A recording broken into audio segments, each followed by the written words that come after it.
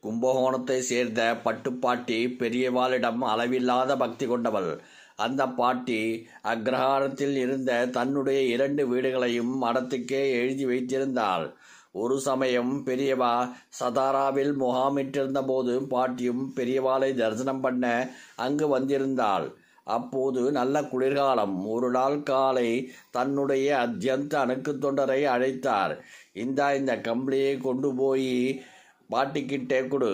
சரின்னு சொல்லிட்டு அந்த தொண்டர் போர்வையை வாங்கி கொண்டு போனார். ஆனால் நாள் முழுவதும் ஓயாமல் வேலை செய்ததில் கம்பளியை கொடுக்க மறந்துவிட்டார். பெரியவாளின் மதுர குரல் கேட்டு எழுந்து வந்த அந்த தொண்டரிடம் ஏண்டா பாட்டிக்கு போர்வை கொடுத்தியோ?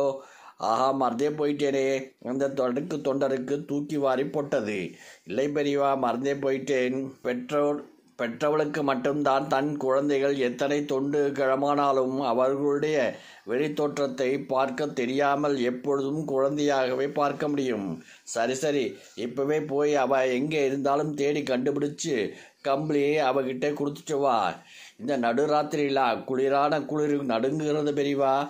இந்த குளிரில் எங்கே போய் பாட்டியை தேடுறது? காலம்பரை கொடுத்துடுறேனே பெரியவா. தெய்வ குழந்தை இப்போவே போர்வை கொடுத்தாகணும் என்று அடம் பிடித்தது. இல்லை இப்போவே கொடுத்தாகணும். ஏண்டா நீ ராத்திரிலேன் தானே துளிர் ஜாஸ்தி. பாவம் அந்த வயசானவ குளிர் தாங்காம நடுங்கி கொண்டிருப்பா. இப்பவே போடான்னார். கம்பளியை எடுத்துக்கொண்டு அந்த ராத்திரியில் வீடு வீடாக அலைந்து இருட்டில் முடங்கி கிடக்கும் உருவங்களையெல்லாம் மிதித்து விடாமல் உற்று உற்று பார்த்து கடைசியில் ஒரு மராட்டியர் வீட்டில் ஒரு ஓரத்தில் குளிரில் தன் புடவையை சுருட்டி முடக்கிக் கொண்டு கிடந்த பாட்டியை கண்டுபிடித்து விட்டார். பாட்டி என்னப்பா என்ன வேணும்? தூக்கத்திலிருந்து முடித்து கொண்ட பாட்டியின் காதில் அந்த தொண்டர் சொன்ன விஷயம் அமிர்தமாக விழுந்தது. இந்த கம்பளியை காத்தாலேயே பெரியவா என்கிட்ட கொடுத்து உங்ககிட்ட கொடுக்க சொன்னா வேலை பலுவில் நான் மறந்தே போயிட்டேன். பெரியவா இப்போ போர்வே கொடுத்தாகணும். பெரியவா ஞாபகமாக கேட்டார். கொடுக்கலே என்றதும் உடனேயே எங்கே இருந்தாலும் தேடி கண்டுபிடித்து கொடுன்னு சொன்னார்.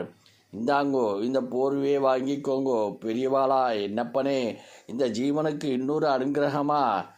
பாட்டி அடைந்த சந்தோஷத்துக்கு ஏதாவது அளவு இருக்குமா என்ன? கதகதப்பான கம்பளிக்குள் கண்ணீரோடு முடங்கினாள் பாட்டி. பெரியவாளோட பட்டு ஹிருதயம் கம்பளியாக அந்த வயசான ஜீவனை அணைத்து பரமஹிதத்தை கொடுத்தது. இந்த அனுபவத்தை கேட்குறப்போ நம்ம மனசு எவ்வளவு சந்தோஷப்படுறது?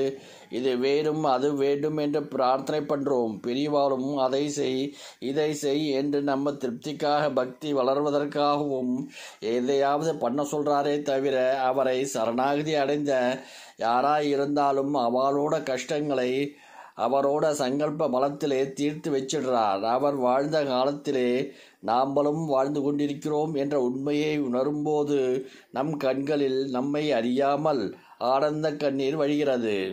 ஹர ஹர சங்கர ஜய ஜய சங்கர ஹர ஹர சங்கர ஜய ஜய